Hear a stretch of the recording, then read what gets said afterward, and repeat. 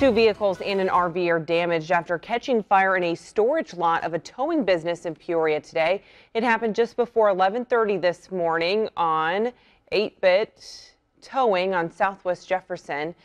Two cars were fully on fire when firefighters got there and a small fire inside an RV was also in a storage lot.